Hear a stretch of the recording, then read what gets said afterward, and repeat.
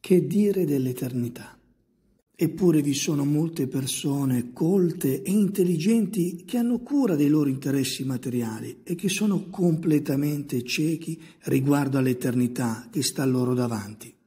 Nonostante l'infinito amore che Dio ha manifestato alla croce di Cristo verso gli esseri umani, miserabili e ribelli, nonostante il suo perfetto odio contro il peccato, nonostante la brevità della vita dell'uomo qua giù, i terrori del giudizio dopo la morte e la terribile possibilità di risvegliarsi con l'atroce sorpresa di essere dalla parte peggiore di quell'abisso posto fra il cielo e l'inferno.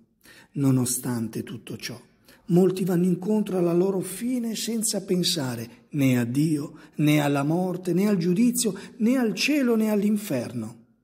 Se sei di questi, abbia Dio pietà di te e ti apra gli occhi affinché tu possa vedere la tua pericolosa posizione sull'orlo franoso di un abisso senza fine.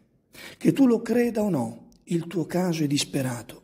Non continuare a rifiutare di pensare all'eternità. Ricordati che l'idea di rimandare ad un altro momento è opera di Satana, di colui che tenta di ingannarti e che non solo è bugiardo, ma è anche omicida.